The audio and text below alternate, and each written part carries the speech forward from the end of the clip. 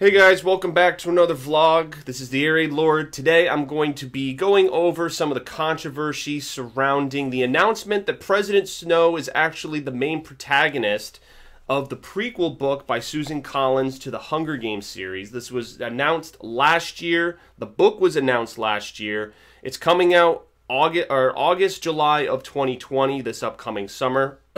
And it was just announced via some excerpts that President Snow, a much younger President Snow, 64 years ish from the Hunger Games in the past, is the President Snow we're going to get. And it's the one who's going to be telling the story of this prequel.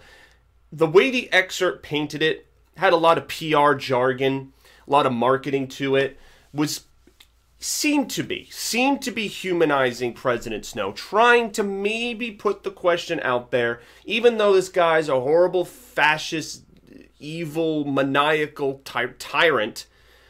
Is it possible that he has some redeeming qualities that maybe he turned into a monster because of something in his childhood and he's misunderstood? Could he actually be a hero? Is there something we don't really know? So, that part that I just said is an is in a is an abridged version of the excerpt that came out. And the excerpt, like I said, felt very PR-y. It felt like it had a lot of jargon in it that was trying to entice you to pre-order the book, had a lot of marketing behind it, and I don't think all of the cards are being revealed by Susan Collins, by the publisher. I think a lot of things are being kept under wraps. However, being that this is the internet, there was a very strong reaction from people, especially on Twitter. It could have been elsewhere, but I saw this as a trend on Twitter. I saw President Snow, and that was it. That was the trend. It was trending number one. Briefly, uh, I'm filming this the day it happened, so January 21st of 2020.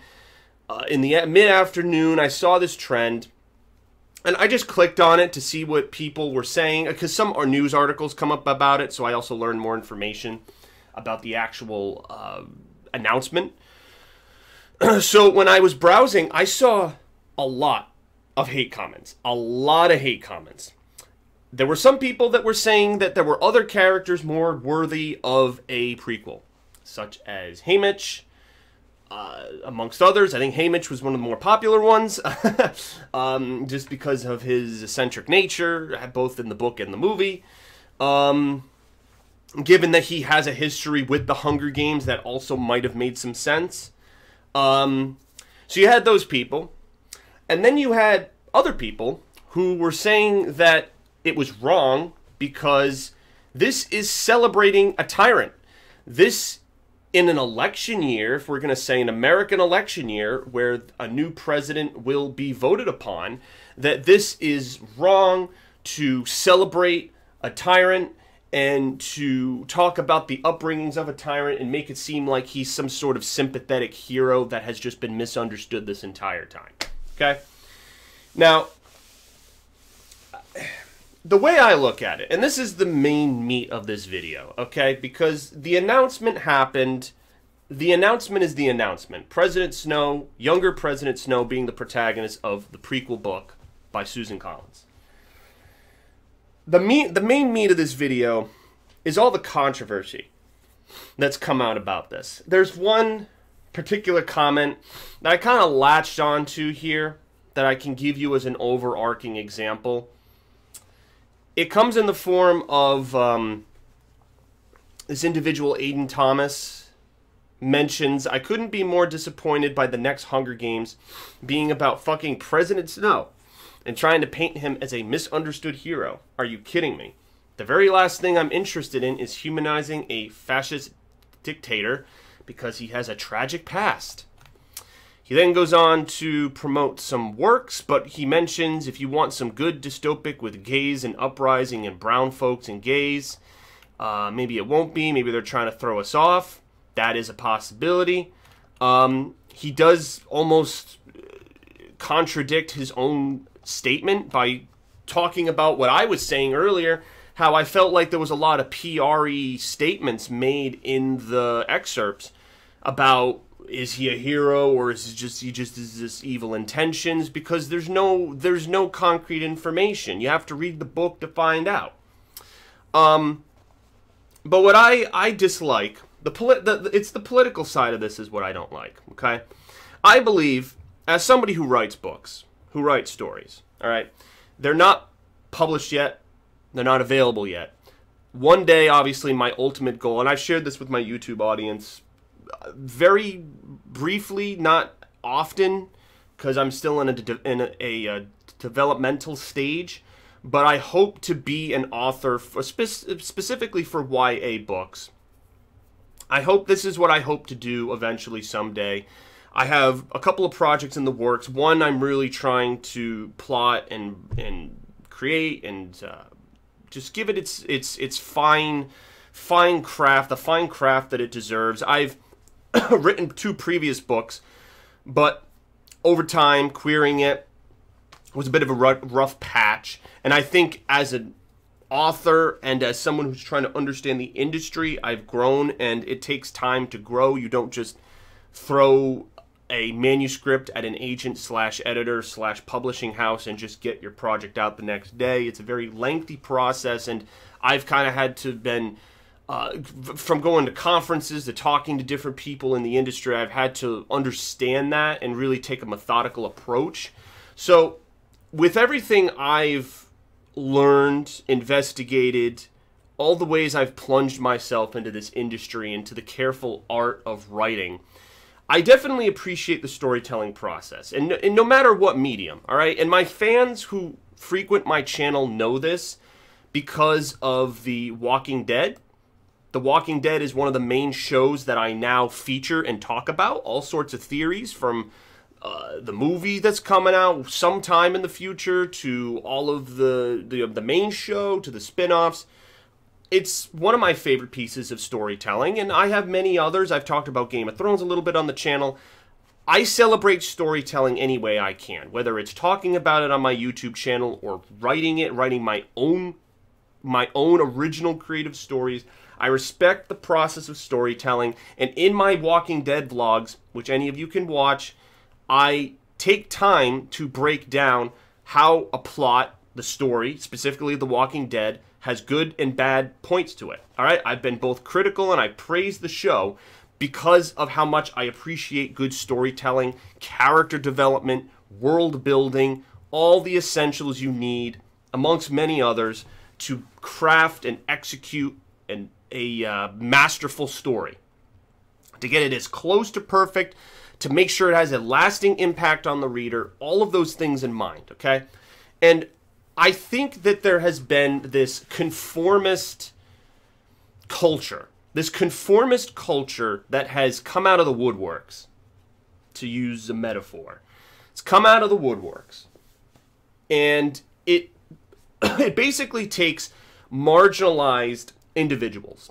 And this is where it gets a little political. And as I mentioned in the individual uh, the about the election year, this gets a little political. It gets it gets to our human fundamentals about who is being represented in what way. Because you have authors, and it seems like the trend now, at least from what I've seen with young adult, I can't speak for other genres, but for at least the YA fiction young adult, that's what YA stands for. It seems like there is this effort to represent the diverse, to represent marginalized audiences, authors, whether that's LGBTQ, whether that's uh, uh, folks of color, folks of different creeds, religions, whatever it is. Basically, it's the nice way of saying we don't want a white male to be the centerpiece of a book. We've seen it too often. There are way too many stories, movies, TV shows, what have you, where the protagonist is a male hero, white, macho, saves the day, and we're tired of that being the narrative, and now it's time for those figures to step aside so that other figures can enter the picture. Okay? Now, let me just say this up front. I want this to be very clear. I have absolutely no problem with other religions, creeds, races, anything, uh, sexual orientations, genders, whatever. I have no problem with with your desire to tell a story about who you are, okay? Because I'm doing this without a webcam right now. I actually probably should be doing this with a webcam, but for any I mean, I have multiple vlogs of myself in my channel and I'm a white male. That's who I am. So when I write my books, a lot of the characters, some of the characters, not all of the characters, might be white men as well. Because authors often write about how they feel, how they've been brought up, how they've been mistreated, what they've enjoyed about life, what they hate about life. And because they're in the skin that they were given when they were born, that's what they naturally write about. Okay? And I fully, fully accept and want authors of those diverse opinions to come forth and tell their stories. I think any story can be good. The definition, like what makes a great story, is not what races or religions or conform like basically oh like if there's four uh, lesbian characters and four black characters and 15 asian characters that makes this story uh, more powerful than a story that has two black characters and the rest are white men and women okay those two uh, the, the two stories hypotheticals that i just painted must be compared by their ability to tell a story. Are the characters believable? Is the plot well developed? Are the is the story world structured? Do we feel an attachment to these characters? Do they pull at our heartstrings? Is the ending cliche? Is there a Deus ex machina? Is there a boring prologue? I could go on and on with all of the jar- writing jargon that could come up when you're trying to create a story that can affect your story in a multitude of ways. But those aspects affect stories equally, okay? Whether that person, I, like I just said, whether they're gay, black, straight, white, it doesn't matter. A story is a story. Like I said, we're all human beings. We all have a story to tell. We all have great stories, horrible stories, any kind of story you can think of, we have stories, okay?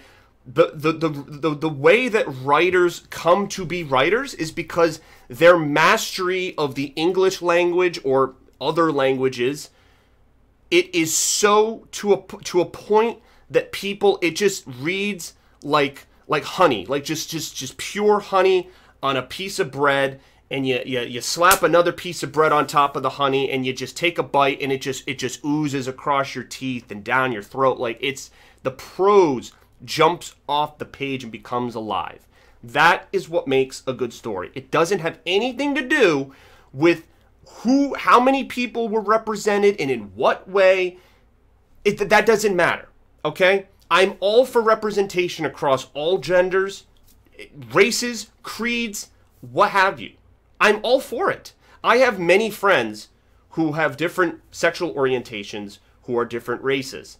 I am very close with them, and whenever they have a story to tell, if they had a story to tell, if they wanted to put it into writing, into nonfiction or fiction, I would be I would be the first one there with a picket sign saying, "Read this guy's book or gal's book."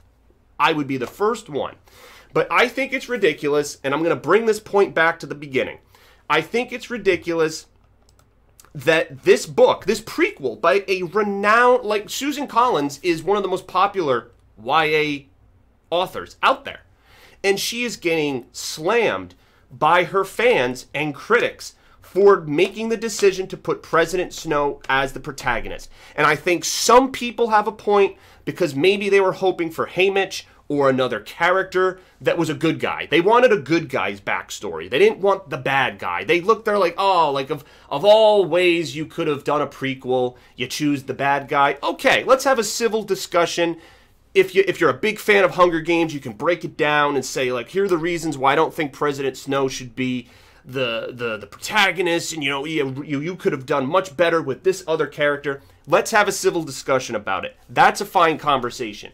It's not a fine conversation to say, oh well, this is a horrible book to release because this is an election year. Oh, okay, yeah, yeah, because in 2020 we're going to have Donald Trump versus a uh, a liberal candidate. And you know, the liberal better win because if Trump wins, then, you know, this book could have had something to do with it. This book talks about dictators and it's a young dictator and how he grows up and oh, like maybe maybe this is sending a bad message about, you know, maybe we should humanize, you know, maybe Donald Trump when he was younger, maybe we should have humanized him more and been more sympathetic towards him. That's what they're saying about President Snow, and that's what they're saying about Donald Trump.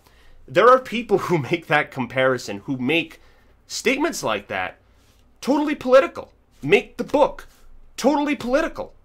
And the and then and then they'll go further and say don't support like the, the individual's tweet that I just wrote or uh, read. Don't support this kind of book. Support this kind of book, the one that has brown folks and gays and uprisings. Okay, like I said, there those two stories, the story about President Snow as a kid growing up and the story you're referencing, the hypothetical about brown folks and gays, I will compare those two stories on their ability to tell a good story. I don't care what you got going on here. Okay, awesome. Brown folks and gays. I'll read it. I, I want to see a good story about brown folks and gays. I want twists and turns. I want interesting characters, cool villains. I want to see a good story. But you know what? If the story about President Snow as a kid is more intriguing to me than your story about brown folks and gays, and it's got better villains and character development, that's the story I'm going with. And it has nothing to do with the fact that you have diverse messages in your book. That has nothing to do with it. It is about story. Story. Because, again, as an author, I'm always trying to improve my craft. I am always trying to say, how can I make this paragraph better? How can I make this sentence better? How can I make this character better? These are things that transcend every single piece of literature. Every worthy piece of literature, these things are important. And I deal with them every single day. So we're changing the conversation. And we're now trying to make this is like an extra thing, an asterisk that every YA book has to have where it has to have this woke, I hate that word, woke message, where you need to be aware of other races and other religions and other creeds. Okay, if you're a decent human being who respects others, you recognize those things. You recognize them. And a good story should have some of those things in it because we live in a diverse world. So if you are your story takes place in New York, it shouldn't just be white men and white women. You know, there's a diverse population of people that live in New York City. Okay? I understand that. You got to make it realistic. If there's just um, if it's just all white guys in the book, that's pretty unrealistic. And also from a marketing standpoint, you're kind of shooting yourself in the foot because a lot of people would like to see girls. They'd like to see, you know, like you said, brown folks and gays. Like, I understand for marketing purposes, that's a different conversation. See, there's different conversations you have based on the goal, okay? If the goal is storytelling, if the goal is marketing, these things all come together like a well oiled machine. They all come together to make a finished product that we can all sit back and say, wow that was something. All right. And it was because of the storytelling and the ability to weave a world together. That's why we liked it. We didn't like it because it made some grandiose statement about how we should all be ashamed to be white. Because again, like this, this is like reverse racism, where I feel like, oh, should I feel sorry that I'm a white guy? Like, I'm sorry. Like, these are the same feelings that people of color had years ago, before civil civil rights, where they were born African American they couldn't change the color of their skin and they were being harassed for it. They were being not allowed to go into bathrooms. And again, I am in no way comparing me growing up to those circumstances.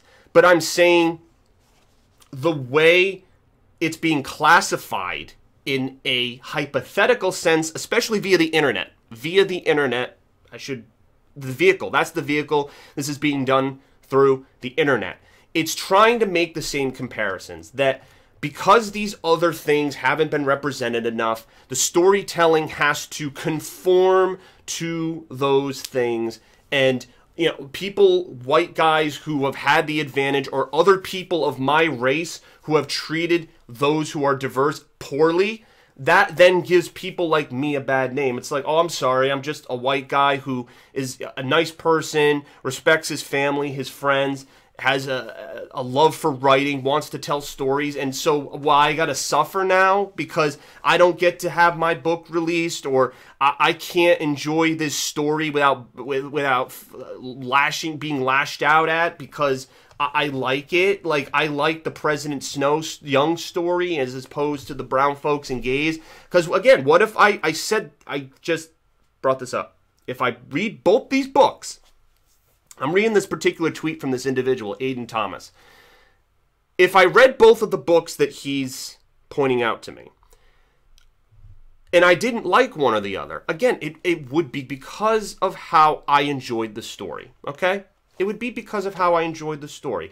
I have watched so many different TV shows, so many different movies. I play video games, that's another form of entertainment.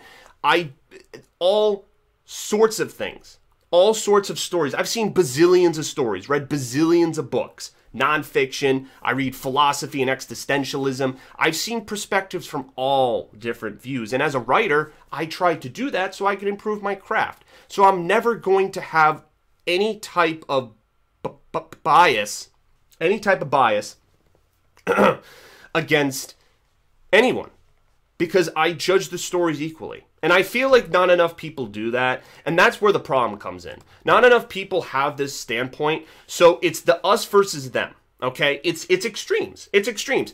And this is where and this is a very, very harsh comparison to make. But this is where the extremism of how um Trump supporters have their extremism about how things are supposed to be and the it's like the woke culture versus keeping things, you know, make America white again, like the racist culture. But they're both using hate as a vehicle to make people feel a certain way, rather than using the things that all bring us together as a means of trying to tell a story or try to make someone feel better.